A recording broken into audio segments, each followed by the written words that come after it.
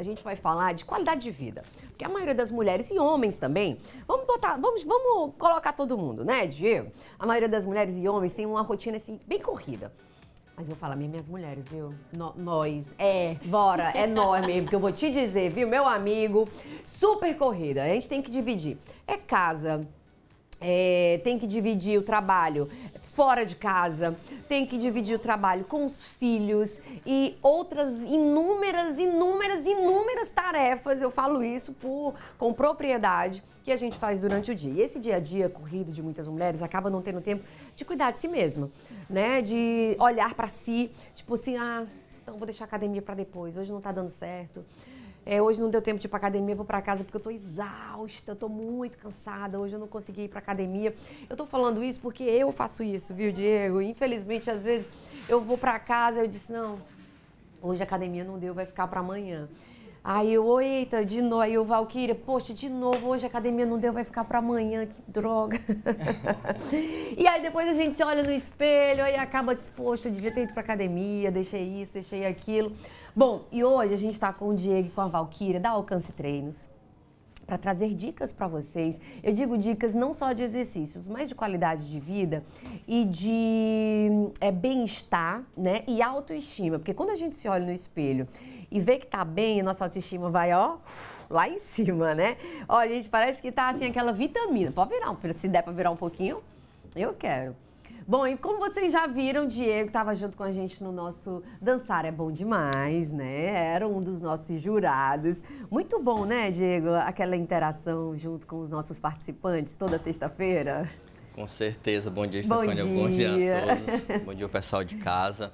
É, foi muito bom lá aquela participação, é. a competição. né? No final deu tudo certo. Os, é, todos os participantes é, conseguir interagir bem, representar Verdade. bem o, o, seu talento, né? O pessoal já tava, tá com saudade já, o pessoal já tá com saudade. Anima, anima muito, né? Anima demais. Ó, gente, eu tô aqui hoje com o Rafael, né, com o Diego Rafael, que estava com a gente, é um dos nossos jurados do Dançar é Bom Demais, e ele também é educador físico e está à frente do Alcance Treinos junto com a Valquíria, que é a sua esposa. A Valquíria é fisioterapeuta, Educadora física. Educadora física. Ah, educadora Isso. física também. Isso. Só que ela tem uma especialidade, gente, em. É, diástase abdominal. Diástase abdominal. A Valquíria já é mamãe, duas filhas. E ela também incentiva mulheres em casa a cuidar da autoestima, bem-estar e voltar aquele corpite, hein, Valquíria? Porque a amiga né? precisa. precisa. precisa. bom momento, dia, seja bem-vinda. Bom dia, pessoal de casa. Nesse momento, quando a gente se entende, se encontra mãe, aí é que a gente cai a ficha, não é, Stefania? E nem, nem vou te dizer, porque às vezes a gente não consegue se reconhecer, viu, gente? A gente meio que fica perdida. Por isso que é importante a gente ter profissionais que possam estar aliando a gente nessa busca novamente por esse corpo. E como foi a ideia de trazer é, para o Alcance Treinos esse tipo de exercício, nessa modalidade, para se fazer em casa, Diego? Então, Stefania, como você falou no início, né? A gente existe muito essa dificuldade uhum. da mulher moderna, trabalha, que é mãe, é, e quase em 100% dos casos ela não consegue se direcionar para academia, né? Por conta da localização que vai gerar um tempo, às vezes é um, um filho que tem que dar o apoio ali, não consegue. Então, o, o projeto, o objetivo, na verdade, foi desenvolver algo prático, rápido e que realmente gere aquele resultado que ela busca, né? O emagrecimento, uhum. melhorar a autoestima, se sentir mais feliz com ela mesma. Como eu disse, de forma prática, com treinos ali que geram entre 10 a 15 minutos que ela pode fazer do lado ali do seu bebê e alcançar os objetivos dessa forma. E isso com, tipo, até com mais rapidez, né? Porque a gente tem um tempo, né, Valquíria? Tipo, depois que a gente é, tem filho, tem um tempo para começar a atividade física, né? E às vezes a gente enrola ainda um pouco mais. Exatamente. Existe ali uma necessidade de entendimento dessa mulher, uhum. que a maioria não tem. Uhum. Que essa volta, ela vai se dar ali gradativamente respeitando o que você está precisando, não é só o querer. Ah, eu quero, estou precisando emagrecer, estou precisando perder aquela barriguinha. Mas ali existe um entendimento para que aquela mulher é, venha ali fazer exercícios que realmente ela possa estar fazendo naquele momento. E com o objetivo alcançado, né? Que é o que a gente busca. E que é o busca. Por isso que surgiu o Alcance Treinos. Diego, até venho acompanhando vocês nas redes sociais. Todo dia vocês vêm trazendo um exercício. Vamos lá. Como que a gente inicia? Como é o start para a pessoa, para aquela pessoa que Paty também tem uma vida super corrida e tem dificuldade de ir para academia, né, Patrícia? Vamos lá, Patrícia chega em casa e agora que começou o estágio de nutrição, como que a gente vai dar start assim? Realmente vou ter que, que incluir esse exercício na minha vida, não só para o corpo, mas também para a minha saúde. O primeiro passo está na mente, então tem que ter atitude, tem que dar o primeiro passo, uhum. porque no início sempre é mais difícil. É aquela novidade, o teu corpo está adaptado com o sedentarismo, com a preguiça, então, até você sair do ponto A para o ponto B gera um pouco de dificuldade. Uhum. Mas quando você inicia, teu corpo começa a gerar algumas adaptações que fica mais fácil, mais prático. Então, para início, da base da base, né, é preciso ir no médico para ver se você está apto realmente. Uhum. Um simples exame ali do coração para ver como é que tá. Pronto, iniciou. Como o treino em casa é muito prático, e, por exemplo, no nosso método é tudo personalizado, uhum. então você recebe ali uma fichinha de. Então você diz personalizado, cada pessoa tem o seu treino específico. Justamente. Ah. Então, por exemplo, aqui, Stefania, você me procurou, passou por aquela avaliação, uhum. fichinha de anamnese, de forma muito prática, já monta o teu treino. Uhum. Você vai fazer é, em casa, dentro das tuas limitações e as necessidades e objetivos. Olha aí, gente, tá vendo? Então, é bom a gente estar tá frisando isso, Diego, porque tem muitas pessoas com limitações, e era exatamente isso que o nosso telespectador perguntou. Se pessoas, é, restrições e limitações que tem para fazer um treino em casa. Sim. É, desde um problema no coração, um problema no joelho, se torna uma limitação A, limitação B. Para isso serve o início, a parte da avaliação. Tá? Não é porque eu não estou do lado né, personal presencial uhum. que eu não possa construir um método específico para você treinar. A gente limita algumas coisas, uhum. como o próprio a, a, pessoa que tem um problema no coração, a gente não atende. Dá para montar um treino específico para essa pessoa, mas nesse ponto é preciso um olhar mais específico, específico. É, mais de perto. Então vocês têm todo esse cuidado. Uhum. Agora algo um pouco mais simples, que não um, um risco de vida é, a pessoa tem alguma limitação, que na maioria das vezes é, é, é mais simples, é uma condromalácia patelar, que é um desgaste ali na cartilagem. Uhum. Então, há um treino específico para ela fazer tranquilamente, que é o fortalecimento dos músculos em geral. E com o passar do tempo, ela seguindo desse protocolo, ela vai melhorar muito, porque o objetivo é fortalecer para que diminua essa dor e ela consiga ter uma qualidade de vida melhor. Valquíria, aliando aos exercícios, você entra também com esse fortalecimento abdominal, principalmente para as mamães que têm diástase abdominal. Exatamente. Existe, como o Diego falou, uma avaliação prévia. Uhum. Eu não posso simplesmente. Estefânia chegou para mim dizendo: Valquíria, eu quero ficar com as pernas mais grossas, mas eu sou mãe recentemente. Uhum. Então eu tenho que partir do princípio que a Estefânia possa ter ali uma diástase abdominal. Ela tem o objetivo de hipertrofiar as pernas, mas eu tenho que, com segurança, que ela alcance esse objetivo, mas não comprometa ali mais ainda a diástase. Uhum. Então, por isso a gente faz essa avaliação. E dentro do método online, a gente consegue estar tá dando esse retorno. Uhum. Aí entra também o ponto da ativação da nossa cinta natural, especificamente para quem é mãe. Ah, é? Gente, se tiver imagem, vocês mandaram imagens, alguma coisa aí? Mandamos, se mandou, né? gente, já pode compartilhar aí na telinha, divide a tela, pra, ela vai falando e vocês vão passando aí. O pessoal já vai mandando pergunta pra gente, tanto pelo nosso Instagram como pelo nosso WhatsApp, tá bom? A necessidade da mãe, ela, é, ela é tão importante, né, que a gente traz essa especificidade do uhum. treino para a diástase. E o que seria? Eu quero hipertrofiar pernas, eu posso fazer um agachamento, mas eu tenho que ter um cuidado ali com o salto. Aham. Uhum. A necessidade da ativação abdominal, que é a consciência de ativar o meu abdômen. Eu tô sentada aqui, mas eu tô aqui, ó, ligadinha nele. Eu não deixo ele aqui. Já até fiquei aqui agora, ó. então, são essas dicas que vai trazendo essa diferença, esse resultado rápido e também não só rápido, mas como duradouro, né, que é o que a gente precisa. Quem tem uma diástase já tardia, o que seria uma diástase, diástase tardia, Stefania? Aquela mamãe que já teve filho há bastante tempo Isso, e não se cuidou. Anos. E aí, ainda dá? Com certeza dá. O treinamento específico para diástase, ele independe do tempo daquela mãe. Ai, Val, eu tive meu filho, tem 25 anos já, o menino. Eita. Bora tratar sua diástase. É? Exatamente. Olha só, A importância do, do, exercício específico para a reabilitação da diástase. E eu tô adorando ver aí as imagens que vocês mandaram pra gente, que vocês fazendo os treinos juntos, treinos em casa. E o que eu pude perceber é, aí, o certo e o errado. Pronto. E era isso que eu queria chegar ao ponto. Às vezes a gente está fazendo em casa e não consegue fazer o exercício corretamente. Vocês dão também essa orientação? Conseguem estar tá acompanhando um pouco o, o, os alunos? Sim. Tem todo o suporte que permite que a pessoa se filme, mande o vídeo para a gente avaliar, corrigir, dizer o que está certo, dizer o que está errado. Dentro do, do próprio acompanhamento já tem os vídeos mostrando a forma como ela vai fazer. Ah. E além de tudo, se ela tiver uma dúvida, não se sentir segura a fazer, ela tem o suporte para falar comigo, com minha equipe, é, podendo mostrar vídeos ou áudios Olha, gente, eu tô adorando, sabe?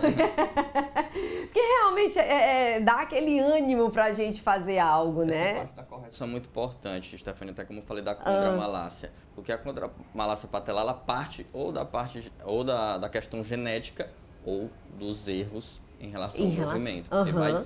E, o, e o pior de tudo, que para você identificar a contramalácia patelar, é só quando a, a cartilagem já está bem desgastada. Que é aí que você começa a sentir. Depois que ela já está quase no fim. Então, uhum. de, do, depois de bastante é, tempo você fazendo as coisas erradas, aí, é que, você vai, é que vai é, sentir alguma coisa, né? Bom, Pergunta também que não quer calar. Ah, Estefânia, Diego, Val, em casa eu não tenho nenhum. É, é, é como é o nome que a gente chama? Aparelho, Aparelho halteres, essas coisas. Eu consigo fazer com o que eu tenho em casa? Com certeza, porque o nosso corpo é o peso. A gente precisa de pesos, ou uhum. externos, que seriam os equipamentos, ou o peso do próprio corpo. Então, o nosso corpo em movimento, executando esses movimentos de uma forma correta, ele pode estar tá te gerando uma grande intensidade, que é o que a gente precisa para obter os resultados de emagrecimento e ganho de massa muscular. Então, a base é você é, realizar esses movimentos da forma correta para que isso aconteça. Isso tudo apenas com o peso do próprio corpo. Olha só, adorei. Val, e quem quer somente fazer essa questão do fortalecimento abdominal? Tem como você ficar em pé para mostrar para o pessoal em casa? A gente vai mostrar primeiro esses da Val, gente, divide aí ela agora, somente ela, para a gente mostrar. Para ela explicar para a gente o que seria esse fortalecimento abdominal, né? É a diástase, né? E o fortalecimento que as mulheres. Gente, mas você tem que fazer, tipo assim, ah, eu vou fazer em casa sem eu vi ali fulano. Tem que ter toda uma preparação, né, Val? Fala pra gente. Existe sim uma preparação e a didática que vai ser ensinada para que essa pessoa venha se preparar é o mais importante. Uhum. Porque o que muitos desconhecem é que exercício para essa região, ele está bem relacionado com exercícios respiratórios e posturais. Ah, Diferentemente é? do que a gente costuma ver, que é o tradicional, que eu não estou dizendo aqui que não é importante, mas para essa fala aqui é importante eu é, trazer para vocês que o exercício tradicional, que é o de força, né, os abdominais tradicionais, eles ali vão te ajudar nessa região 30 a 40%. As pessoas acham, na hora que tem filho, eu tenho que fazer abdominal, tenho Exatamente. que fazer logo abdominal. E não é. E é um erro. Olha, olha, tá vendo? e algumas das é vezes, um forma errada pode prejudicar a diástase. Pode aumentar a diástase. Quando eu realizo a flexão do tronco, a minha diástase ela afasta mais. Val, então quer dizer que quem tem diástase abdominal não ah, pode qual fazer... Qual câmera lá, olha, meninos? Essa aqui? Olha pra essa, Val. Essa pra essa? É. Quando eu tenho que fazer é, um exercício para reabilitar, fechar a minha diástase, ah. eu tenho que ter a consciência corporal. Tu sente teu abdômen, tu tá aí conversando com o Diego, tu tá sentindo teu abdômen, tu tá pensando nele. É porque tu falou, eu tô. Agora tá. Isso. Exatamente, tu precisou do meu estímulo. Precisou do meu estímulo. Nossa, uhum. eu tenho um abdômen. Oh, né? tô aqui durinho. E no abdominal tradicional, que é o exercício de força, eu vou precisar dele ali 30%, 40%, não é tanto. Uhum. Já dos exercícios posturais e respiratórios, que trazem tônus para essa região, eu preciso ali de 60%. Então, botando aí no papelzinho, eu vou precisar treinar mais o quê? exercícios respiratórios e posturais. Val, quanto tempo que você teve neném? Seis meses. Olha aí, gente, ela tá com seis meses com que seis teve meses. neném. Olha aí. A segunda bebê. A segunda A bebê. segunda. Dizem que a barriga es- es- esplacheca mais, né? Sim, sim. Olha o nome, esplacheca. Porque logo na primeira ela conseguiu Barrigão. voltar com dois e agora com seis, para ver como foi mais difícil. Sim, sim, exatamente. É, a- ó, mulher, minha gente, tem que ser realmente estudada, né? É. O importante é dizer que, gente, quando você está gestante, não estou trazendo aqui uma maldade. Meu Deus, diástase é algo hor- horrível. Não é. Ela é necessária. Todas nós ali que ficamos ali com aquele barrigão, a gente está com diástase. Ela é necessária naquele momento. Mas depois que o bebê sai ali, é o que a gente vai avaliar. Então, você tá nesse processo ainda de recuperação. Ainda estou em processo de recuperação. Olha só, gente, pra vocês verem, né? Ó, a gente tem que ir pro intervalo, mas já já a gente volta. A Val vai mostrar pra gente, junto com o Diego também. A gente vai trazer exercícios. A gente vai mostrar, né, pro pessoal de casa, exercícios que vocês podem estar fazendo pra em casa. Tipo, pode ser até, gente, o início pra você começar a ir bus- buscar outra coisa que você queira fazer, né? E aí, quando você tomar o gosto, aí você vai correr, vai pedalar, vai fazer um monte de coisa. Mas já é algo pra você começar e trazer qualidade de vida e saúde pra você. Não é isso, Diego? Diego, conta pra gente como é que esse treino rápido é, dá o resultado. O pessoal já estava perguntando, Stefani, mas como é que 10, 15, 20 minutos a gente consegue alcançar esse, É esse objetivo? É curioso, né? Porque é fácil é, pensar para onde vai essas calorias se eu estou treinando.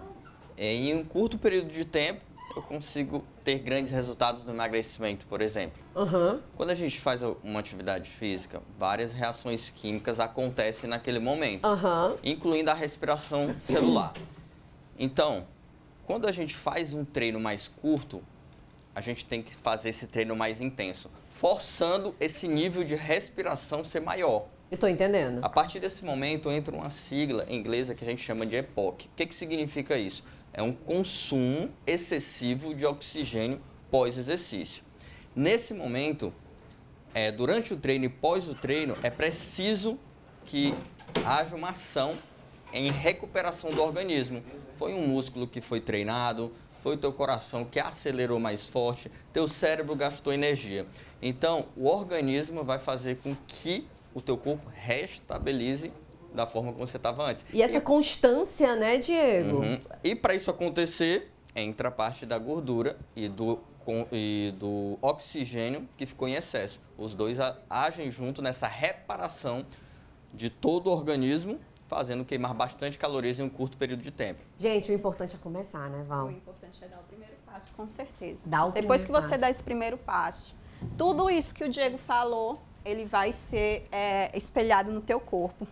Então tá aí, gente, Todo, olha. todo esse suporte o todo Diego... esse suporte, né? Isso. Ó, a gente vai finalizar o programa com o Diego e a Val fazendo exercícios que vocês podem estar fazendo em casa. Mas antes eu quero agradecer essa semana maravilhosa, agradecer o apoio, o carinho, as mensagens diariamente que a gente recebe de vocês e de todos os dias. Por isso que a gente tem uma força assim gigantesca para estar aqui na chuva, no sol, na pedra, com leões e furacões. A gente tá aqui. Muito obrigada, tá bom? Por vocês aí. Eu desejo um excelente sexta-feira, um excelente início de mês, né, Val? Eita, Pra nós. mêsão, que Deus seja abençoe. abençoado, né? Bom, um beijo. Agora vamos se exercitar, porque pode. Olha aí, gente. Vai, Diego. Agachamento, ó, agachamento simples, qualquer pessoa pode fazer, seguido de uma corrida. Agora é para aumentar a intensidade, para gerar aquilo que eu falei.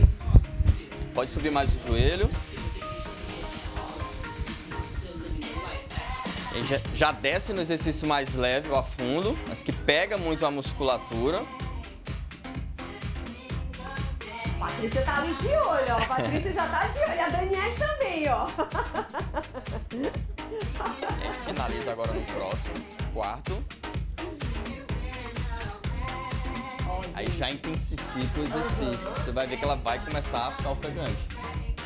Coloca o Instagram do Diego da Val aí na telinha, gente, pra vocês, pessoal de casa, também já acompanhar e levar qualidade de vida pra vocês, que é importante. Diego, Val, obrigado por vocês estarem aqui junto com a gente, tá bom?